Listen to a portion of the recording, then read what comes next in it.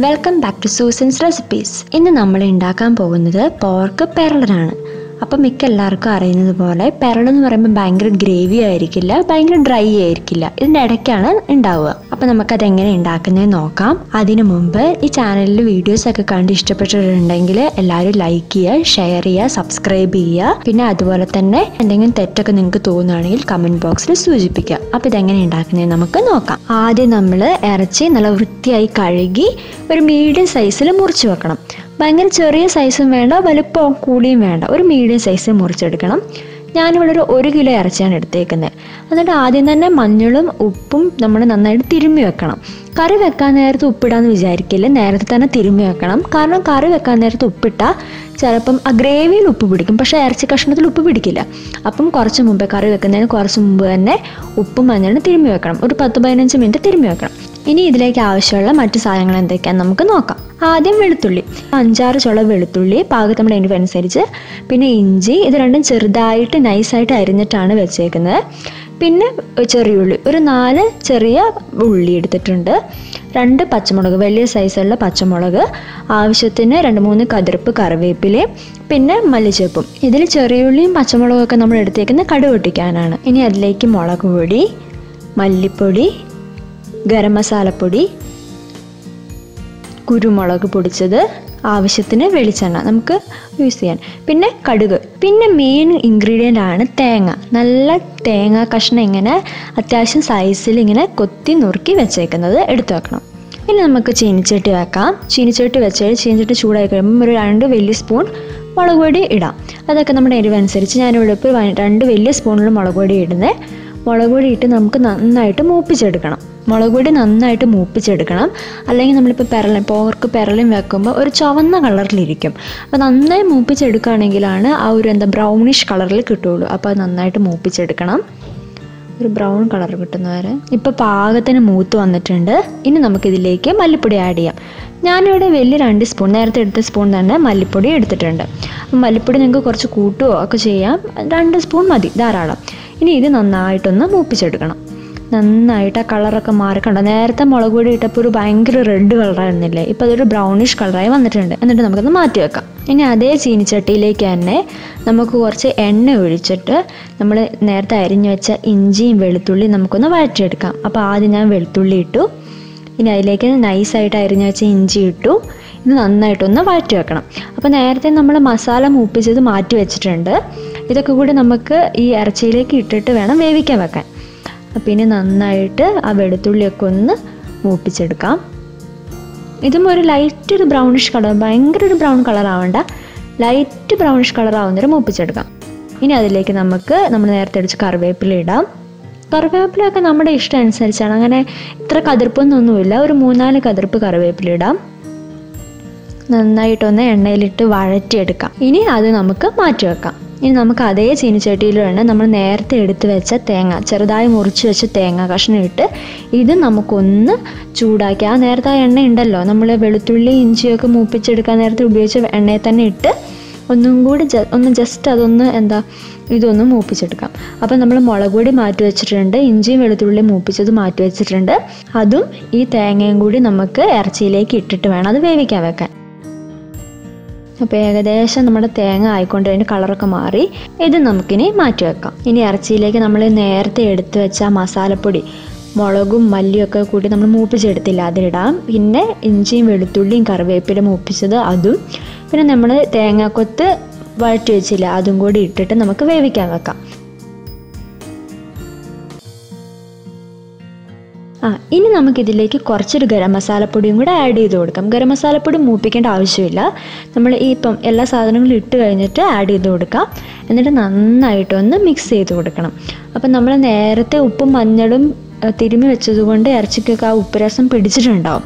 അപ്പോൾ അത് നിങ്ങൾ ശ്രദ്ധിക്കണം. നേരത്തെ തന്നെ തിരുമി വെക്കണം. എന്നിട്ട് ഈ സാധനങ്ങൾ നമ്മൾ ഇട്ട ഇഞ്ചിയും വെളുത്തുള്ളിയും മസാലപ്പൊടികളും തേങ്ങാ കഷ്ണവും എല്ലാം നന്നായിട്ടൊന്ന് എല്ലായിടത്തും എത്തുന്ന രീതിയിൽ നന്നായിട്ടൊന്ന് ഇളക്കി കൊടുക്കാം. ഞാനപ്പോൾ ഇവിടെ ഒരു മൺചട്ടിയിലാണ് ഇറച്ചി ഇവിടെ വെക്കുന്നത്. കുക്കറിലും വേണമെങ്കിൽ വെക്കാം.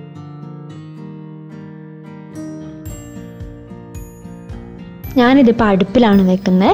നിങ്ങൾക്ക് ഗ്യാസ് സ്റ്റൗവിൽ വെക്കാം ഒരു കുഴപ്പമില്ല. പക്ഷേ അടുപ്പിലാണ് അടുപ്പിൽ ആ മൺചട്ടിയിൽ ഇറച്ചി വേവുമ്പം ഒരു ഭയങ്കര വേറൊരു ടേസ്റ്റാണ്. അപ്പോൾ ഞാനിവിടെ അടുപ്പിലാണ് വെക്കുന്നത്. അപ്പോൾ അടുപ്പിൽ നന്നായിട്ട് അത്യാവശ്യം തീയൊക്കെ കത്തുന്നുണ്ട്. ഭയങ്കര തീ വേണ്ട. ഭയങ്കര തീ ആയാൽ ചിലപ്പോൾ അത് കരിഞ്ഞു പോകുമല്ലോ അപ്പോൾ ഭയങ്കര തീന്റെ ആവശ്യമില്ല. ഒരു മീഡിയത്തിൽ ഇതാ മീഡിയത്തിലൊക്കെ തീ കത്തി തുടങ്ങി. ഇനി നമുക്ക് നമ്മുടെ പാത്രം ഇറച്ചിയുള്ള പാത്രം ഇതിലേക്ക് വെക്കാം. സത്യം പറഞ്ഞാൽ ഈ ഇറച്ചിക്ക് നന്നായിട്ട് വേവണം. പന്നിയിറച്ചി നന്നായിട്ട് വേവണം. ഒരു ഒരു മണിക്കൂറോളം ഒന്നല്ല ഒരു ഒന്നര ഒന്നേകാൽ ഒന്നര മണിക്കൂറോളം ഇറച്ചി നന്നായിട്ട് വേവണം. അപ്പോൾ പെട്ടെന്ന് നമ്മൾ ഇറച്ചിക്കറി ഉണ്ടാക്കാമെന്ന് വെച്ചാൽ നടക്കില്ല. ഒരു ഒന്നര മണിക്കൂറോളം ഇത് നന്നായിട്ട് ഇരുന്ന് വേവണം.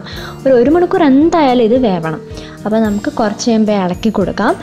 അപ്പോൾ ഈ ഒരു മണിക്കൂർ സമയത്ത് വെച്ചിട്ട് അങ്ങ് പോവില്ല? നമ്മൾ ഇടയ്ക്കിടയ്ക്ക് വന്നിട്ട് വെള്ളം കുറവാണെങ്കിൽ നോക്കി വെള്ളം ഒഴിച്ച് കൊടുക്കണം. ഇളക്കി ഇളക്കി കൊടുക്കണം. ഇപ്പോൾ ഒരു പത്ത് മിനിറ്റായി. പത്ത് മിനിറ്റ് ആയപ്പോൾ നമ്മുടെ ഇത് പാകത്തിന് ആയിക്കൊണ്ടിരിക്കുന്നുണ്ട് ഒന്ന് നമുക്ക് നന്നായിട്ടൊന്ന് ഇളക്കി കൊടുക്കാം. അടിയിലൊന്നും പിടിച്ചിട്ടില്ല. നമുക്ക് നന്നായിട്ടൊന്ന് ഇളക്കി കൊടുക്കാം. ഇനി നമുക്കൊന്ന് മൂടി വെക്കാം. ഇനി കുറച്ച് കഴിയുമ്പോൾ നമുക്കൊന്നും കൂടെ നോക്കാം. ഇപ്പോൾ ഒരു അരമുക്കാൽ മണിക്കൂറായി. ആ വെള്ളമൊക്കെ വറ്റിയിട്ടുണ്ട്. അപ്പോൾ ഇതിലേക്ക് നമുക്ക് വെള്ളം ഒഴിച്ചു കൊടുക്കാം. എക്സ്ട്രാ കുറച്ച് വെള്ളം ഒഴിച്ചു കൊടുക്കാം. ഞാനിപ്പോൾ ചൂടാക്കിയ വെള്ളമാണ് ഇതിലേക്ക് ഒഴിച്ചു കൊടുക്കുന്നത്. ഇപ്പോൾ പച്ചവെള്ളം ഒഴിക്കേണ്ട മാക്സിമം ചൂടായിട്ടുള്ള വെള്ളം തന്നെ ഒഴിച്ചു കൊടുക്കുക. അപ്പോൾ പെട്ടെന്ന് വേവുമല്ലോ ഇപ്പോൾ അരമുക്കാൽ മണിക്കൂറായി എന്ന് പറഞ്ഞില്ല? അതിന് ഇടയ്ക്കിടയ്ക്ക് നിങ്ങൾ ഒരു പത്ത് മിനിറ്റ് കൂടുമ്പോൾ കൂടുമ്പോൾ വന്ന് നോക്കണം. അല്ലെങ്കിൽ ചിലപ്പോൾ അടിയിൽ പിടിക്കും. ഇനി നമുക്ക് കുറച്ച് നേരം കൂടി മൂടി വെക്കാം. അപ്പം ഇടയ്ക്കിടയ്ക്ക് നിങ്ങളിങ്ങനെ വന്നിട്ട് നോക്കണം. കാരണം ചിലപ്പം തീ പെട്ടെന്ന് കൂടി കത്തിയാൽ അടിയിലിങ്ങനെ പിടിക്കാൻ ചാൻസ് ഉണ്ട്. അതുകൊണ്ട് ഇടയ്ക്കിടയ്ക്ക് വന്ന് നോക്കണം. മാക്സിമം മൺചട്ടി തന്നെ ഇറച്ചി വെക്കാൻ ശ്രദ്ധിക്കണം. പന്നി ഇറച്ചി ആണെങ്കിലും പോത്തിറച്ചി ആണെങ്കിലും എന്താണ്? കോഴിയിറച്ചി വേണ്ട. വേണമെങ്കിൽ വെക്കാം. പക്ഷെ പന്നിയും പോത്തും നമ്മൾ മൺചട്ടിയിൽ വെച്ച് ഉണ്ടാക്കിയാൽ അത് വേറൊരു ടേസ്റ്റാണ് അപ്പോൾ മാക്സിമം നിങ്ങൾ അങ്ങനെ തന്നെ ശ്രദ്ധിക്കണം. കുക്കറിലും വേണമെങ്കിൽ ഉണ്ടാക്കാം. ഇപ്പം ഏകദേശം ഒരു ഒന്നേകാൽ മണിക്കൂർ കഴിഞ്ഞു. ഞാൻ എടുത്തു. കണ്ടോ? നമ്മുടെ ഇറച്ചി നല്ല പാകത്തിന് നല്ല വെള്ളം ഒട്ടും ഡ്രൈ ആവാതെ ഇടയ്ക്കിടയ്ക്ക് നിങ്ങൾ നോക്കണം വെള്ളം കുറഞ്ഞു പോയോ? എന്ന് നോക്കിയിട്ട് ഒഴിച്ചു കൊടുക്കണം. നല്ല കറക്റ്റായിട്ട് ഇങ്ങനെ കിട്ടിയിട്ടുണ്ട്. ആ ആ തേങ്ങാക്കൊത്തൊക്കെ കറക്റ്റാക്കി ഇട്ടിട്ടുണ്ട്. ഇനി നമുക്കിത് എടുത്ത് കടുക് പൊട്ടിക്കാം. കടുക് നേരത്തെ നമ്മൾ ഉണ്ടാക്കിയ ചീനിച്ചട്ടി. തേങ്ങ ഇതാക്കിയ ചീനിച്ചട്ടിയിലേക്ക് കുറച്ചും കൂടി വെളിച്ചെണ്ണ ഒഴിച്ച് നമുക്ക് കടുക് പൊട്ടിക്കാൻ ഇടാം. അപ്പോൾ എണ്ണ നന്നായി ചൂടായി ഇതിലേക്ക് നമുക്ക് ആവശ്യത്തിന് കടുകിടാം. കടുകിട്ട് നന്നായി പൊട്ടി വരുന്നുണ്ട്. ആ പൊട്ടി വന്നു. ഇനി അതിലേക്ക് നമുക്ക് പച്ചമുളക്. ഞാനിപ്പോൾ രണ്ട് വലിയ പച്ചമുളക് എടുത്ത് നടുവേ ഇങ്ങനെ കീറിയിട്ട് എടുത്തേ. അത്യാവശ്യം നീട്ടമുള്ളത് കൊണ്ട് നടുവേ ഇങ്ങനെ പിളർന്ന് എടുത്തിട്ടുണ്ട്. ഇനി അതിലേക്ക് നമുക്ക് ചെറിയുള്ളി ഇട്ട് കൊടുക്കാം. ചെറിയുള്ളി നല്ല നൈസായിട്ട് അരിഞ്ഞിട്ട് വേണം ഇട്ട് കൊടുക്കാൻ. അതോട്ട് നന്നായിട്ടൊന്ന് മൂപ്പിക്കാം. ഇപ്പോൾ ഏകദേശം കളർ മാറി വരുന്നുണ്ട്. ഇനി അതിലേക്ക് നമ്മൾ എടുത്തു വെച്ച കറിവേപ്പില ഇടാം. അപ്പോൾ കറിവേപ്പില നമ്മൾ നേരത്തെ ഇറച്ചി വേവിക്കാൻ വെച്ചപ്പോഴും ഇട്ടു. കടുക് പൊട്ടിക്കാൻ നേരത്തെ വെച്ചു. അപ്പോൾ നന്നായിട്ട് നമുക്കിനി ഒന്ന് ഇളക്കി കൊടുക്കാം. ഏകദേശം ഭയങ്കര ഒരു ബ്രൗണിഷ് കളർ ആവേണ്ട ഇപ്പോൾ ഏകദേശമായി ഇനി നമുക്കിത് ഇറച്ചിയിലേക്ക് ഇടാം. ഇപ്പം നല്ല ചൂടോടെ ഇരിക്കുന്നുണ്ട് ഇതിലേക്ക് നമുക്ക് കടുക് പൊട്ടിച്ച കറിവേപ്പിലയും ചെറിയുള്ളിയും ഒക്കെ ഇതിലേക്ക് ഇടാം. ആ അപ്പം നമുക്കിനി ആ എണ്ണയോടുകൂടി ആ വെളിച്ച കുറച്ച് വെളിച്ചെണ്ണ കൂടുതലുള്ളതാണ് ടേസ്റ്റ് അപ്പോൾ ആ എണ്ണ അടക്കം നമുക്കെല്ലാം നന്നായിട്ട് ഇതിന് മുകളിലോട്ട് അങ്ങ് ഇടാം. അപ്പം നമ്മുടെ സൂപ്പർ പെരളൻ റെഡി ആയിട്ടുണ്ട്.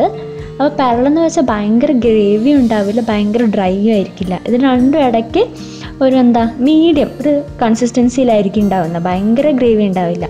ഇനി നമുക്ക് ഇതിലേക്ക് കുറച്ച് മല്ലിച്ചപ്പ് നമ്മൾ മുറിച്ച് വെച്ച മല്ലിച്ചപ്പ് ഇടാം.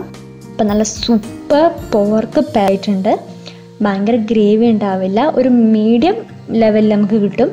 നല്ല സൂപ്പർ ടേസ്റ്റി ആണ്. എല്ലാവരും വീട്ടിൽ പോയിട്ട് നിങ്ങൾ ചിലപ്പോൾ വേറെ രീതിയിലായിരിക്കും വെക്കുന്നത് നിങ്ങളപ്പോൾ വേറെ ഏതെങ്കിലും രീതിയിലായിരിക്കും വെക്കുന്നത്. ഒരിക്കലെങ്കിലും നിങ്ങൾ ഇങ്ങനെ വെച്ച് നോക്കണം. അങ്ങനെ നിങ്ങൾക്ക് ഇഷ്ടമായിട്ടുണ്ടെങ്കിൽ ഈ ചാനൽ ലൈക്ക് ചെയ്യണം ഷെയർ ചെയ്യണം സബ്സ്ക്രൈബ് ചെയ്യണം. അടുത്ത റെസിപ്പി കാണുന്നവരെ ബൈ